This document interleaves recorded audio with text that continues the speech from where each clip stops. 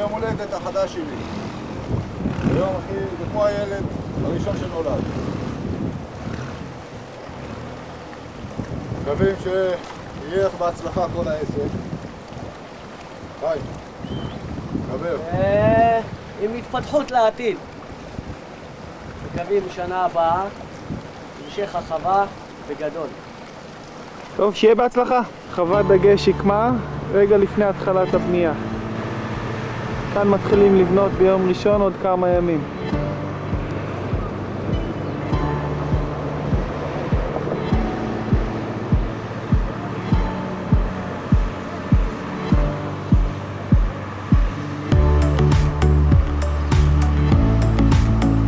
מצפון שטח הבנייה העתידי.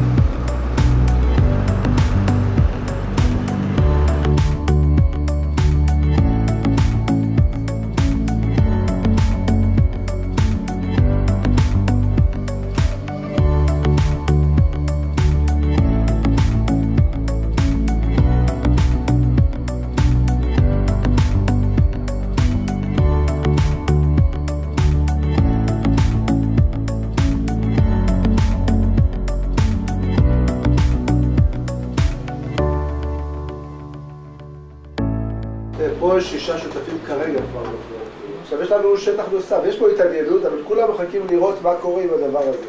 היה וזה יהיה להערכתי, מתוך שיחות, יהיו פה לפחות עוד כמה בהיקף הזה. כמה יש בכלל חברים בדוגית? דוגית, אה, דרך אגב, השותפות הזאת היא לא רק בדוגית, זה ארבעה בדוגית, שתיים מאלי סיני. דוגית זה יישוב קטן שיושב במחנה זמני. עדיין, הוא פשוט נפל בתפר כשהתחלף השלטון, כל התוכניות היו מוכנות, אבל הטרקטורים לא עלו לשטח. והם נשארו בקרוונים כל התקופה הזאת, הם יישוב קטן, שהגודל המקסימלי שהוא יכול להגיע אליו הוא 20, כרגע הם בין 15 ל-18 משפחות. באלי סיני? אלי סיני הוא יישוב יותר גדול. הוא כבר כמה... 56, 57 משפחות. מה לא- לא מסביב. הזמנים, חנוך? יום ראשון עולים פה טרקטורים. מדדו? השבוע. יום ראשון עולים פה טרקטורים כבר, והעוגן כבר הזמינו את הבריכות, כבר נכתב. מוכן איתם חוזה, רק לא נכתב עדיין בגלל תיקונים שלהם, ותוך חודשיים אמורים לצאת מפה. עוד חודשיים בריכות גמורות, כן. ואז מדברים על אכלוס תכף. אכלוס מיד, הם כבר הזמינו את הדגיגים. הדגיגים מוכנים במקום. זה מי זה אלדד? לא, בעתלית. בהחליט? לא היה. עשיתם חשבון שמה מ-60 טון, מ- כמה אנשים יכולים לחיות מזה? זה, זה נקודה בעייתית. ממה אנחנו יצאנו, הרי כל התהליך הזה של המשק המשפחתי? אנחנו מתארים 60 טון יכולים להתקיים לפי המדדים הקשים והמסוכנים שלנו, כדי שזה יעמוד שתי אנשים, שתי משפחות. שתי משפחות. עכשיו, הם פה, זה לא תעסוקה מלאה אצלם, אצל החבר'ה האלה. כולם גם דייגים, דייגי ים עם סירות, כל החבורה הזאת. ואז זה משלים, אבל וזה רק שלב ראשון. ברגע שיהיה ארבעה פלוס השלמה נוספת, יוכל לקיים את החבורה הזאת. כרגע בוודאי שלא. לפי התחשיבים שלנו זה שתי משפחות, זה גם תעסוקה רק לשתי העובד משלם בערך אלף דולר למטר קיבוע, אה, צריך לא יודע אפילו איזה עומקים להגיע. אה, צינור ימי הוא גם אה, הרבה הרבה יקר מאוד. בסיכומו של דבר העלויות פה הן בערך חצי ממה שהצבנו לעצמנו כתקרה. בעיקרון בעצם אתה יכול לשים הוא שאנחנו רוצים, אנחנו מדברים על כמה מאות שקלים השקעה במתקן פר תפוקה של 1 קוב שעה. אנחנו היינו מוגבלים בעומק של עבודת הטרקטור. לא הנחנו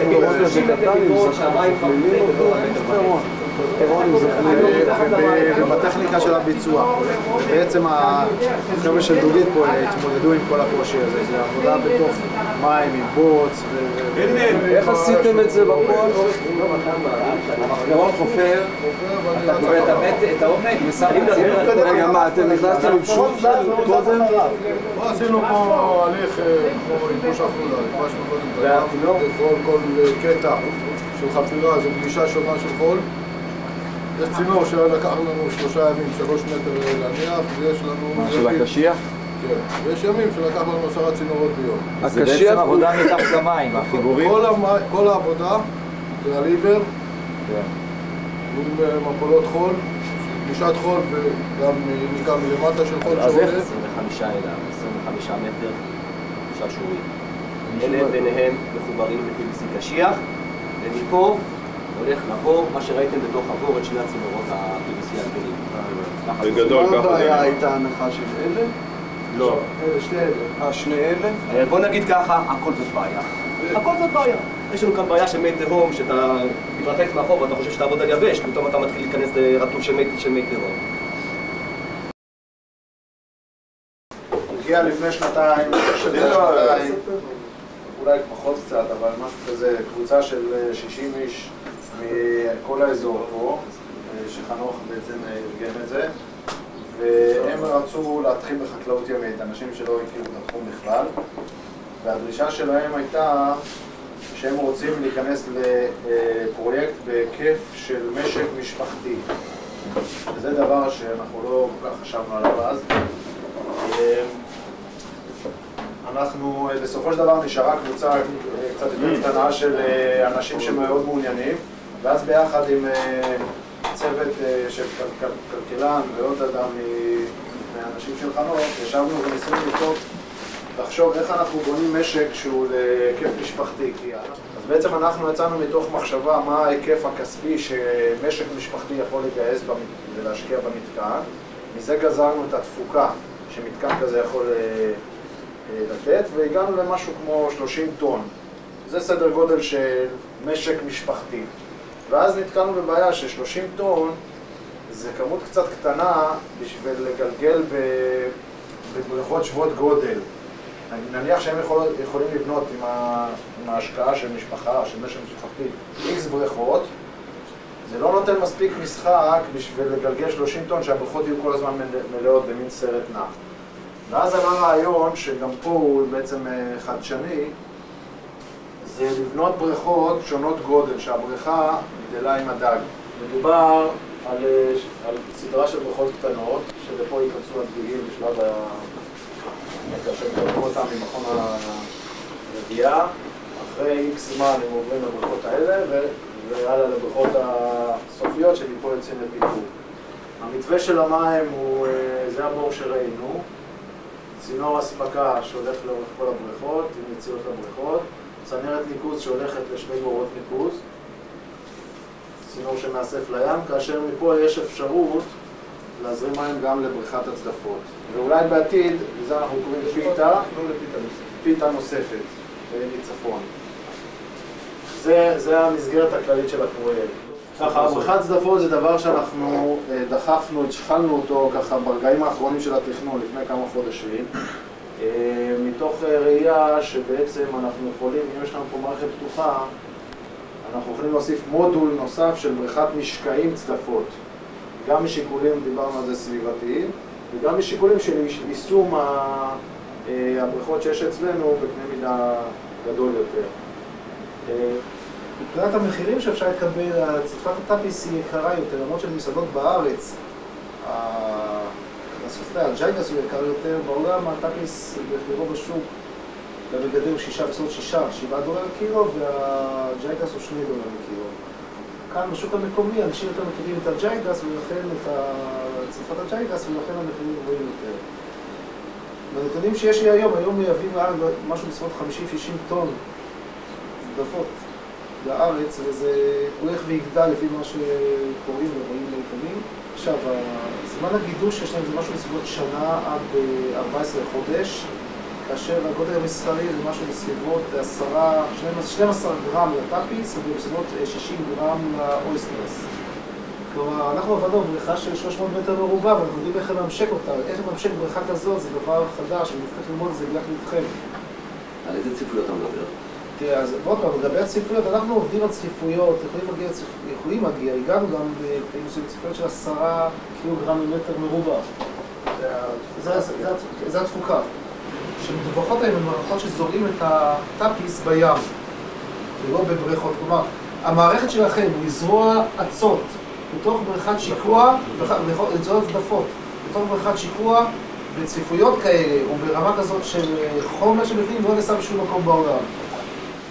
לא צריך לשכנע את החבר'ה שבמקום הזה להכניס דברים חדשים. אני להפך, כל אני- דבר שיכול להיכנס, אני לא שיבוא משכנע, בברכה. לא, אני לא משכנע, אני מהפסימיסט שאומר שצריכים, אני לא יכול, כלומר, צריכים להיזהר בנושא הזה, זה מה שאני אומר. קח את זה בתור מופת שלך. כדאי שתבטיחו לא בואו לאכול את תשקיעו גם. אתם איתנו, יש לנו את האדמה, יש לנו את היכולת, למה אתה צריך? מה? עשה רשימה. ניסית 300, יש לך פה 2,000. בוא קח את זה בתור מו"פ. טוב ובהצלחה פה.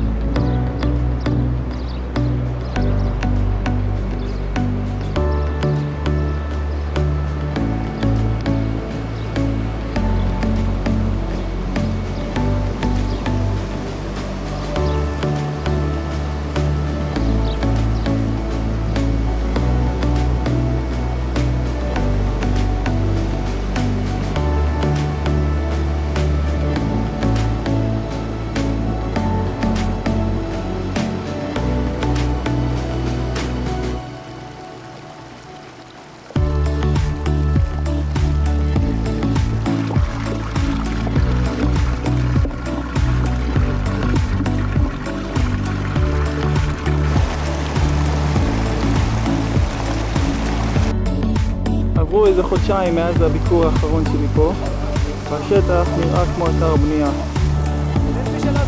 היום חם מאוד, יש בעיות עם הדגים, עם המוסר, גדלים בבריכות הקטנות. מחכים שיגמרו את הבריכות הגדולות ואפשר יהיה להעביר אותם. הקירות כבר עומדים של כל הבריכות, 250, 100, 30 קוב. בשבוע הבא אה, יתחילו שוב, ימשיכו עם החיפוי.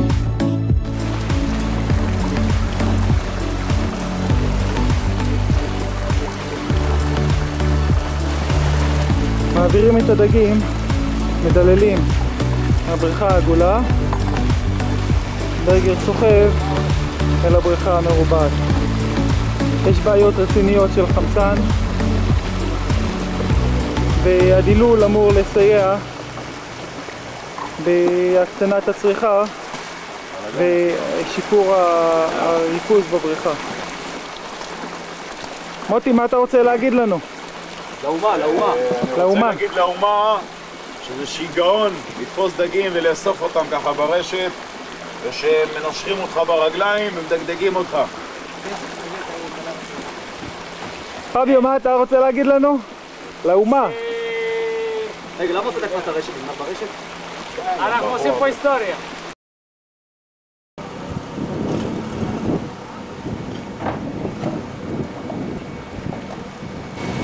חיים, באיזה שעה הגעתם עם הדגים?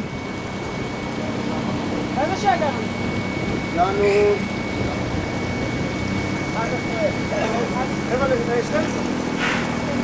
טוב, היום שמנו עכשיו 32 אלף דגים, הכוונה הייתה 30.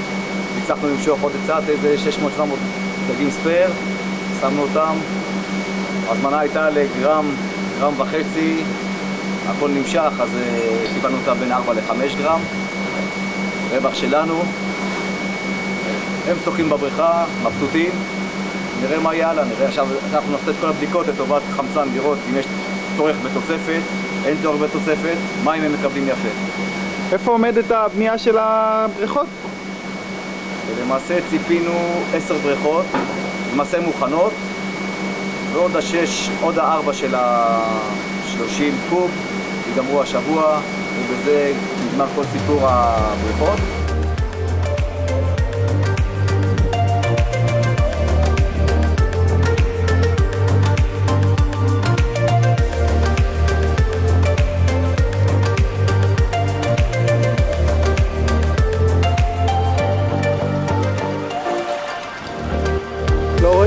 דגים, הבריכה מאוד גדולה, אבל הם רואים אותי ובאים לקבל אוכל.